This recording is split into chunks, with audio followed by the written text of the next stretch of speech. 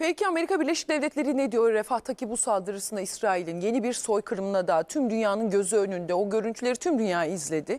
Hemen Amerika Birleşik Devletleri'ne dönelim. Mustafa Tanyeri bizi bekliyor şu an sabahın erken saatleri ama dün bu katliam yaşandığında gündüzdü gün ağarmamıştı henüz Amerika Birleşik Devletleri'nde. Mustafa Bey hoş geldiniz.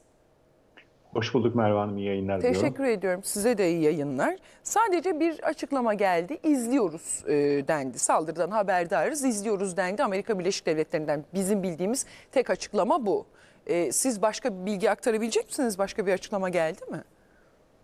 E, Biden yönetiminden gelmedi ancak e, bugün yine birkaç saat önce CNN'e bağlanan e, Kongre'nin Dış İlişkiler Komisyonu üyesi ve Arkansas Temsil Meclisi üyesi French Hill'in bazı açıklamaları oldu. O da burada sadece aslında orada ölen iki tane üst düzey Hamas yöneticisinin bulunduğunu belirterek bu saldırıyı biraz yumuşatmaya hatta biraz da açıkçası haklı görmeye doğru gidebilecek kelimelerle bunun bir İsrail'in bilerek yaptığı bir şey değil, bir saldırının doğal yan sonuçları olduğunu e, söyleyen, e, pek de tabii ki insanlığa da sığmayan bir açıklama gördüm ben, bizzat hı hı, izledim. Hı.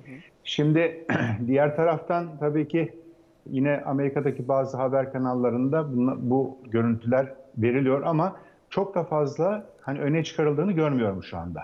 Amerikan medyasında da.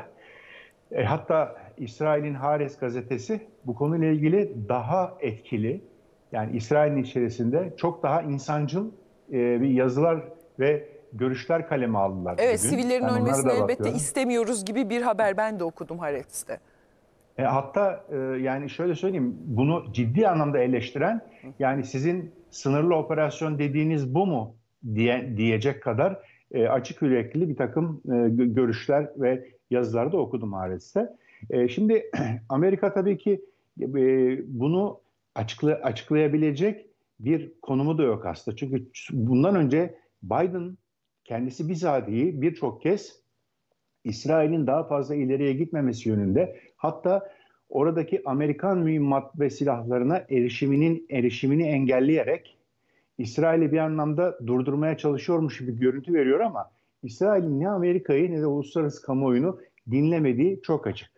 Buna Biden'ın bu e, yani yetersiz tepkisine de kendi partisi içerisinden yine e, Amerika'da Amerikan Kongresi'ndeki Filistin kökenli tek üye Raşit Tlaib'in yaptığı bir açıklama oldu.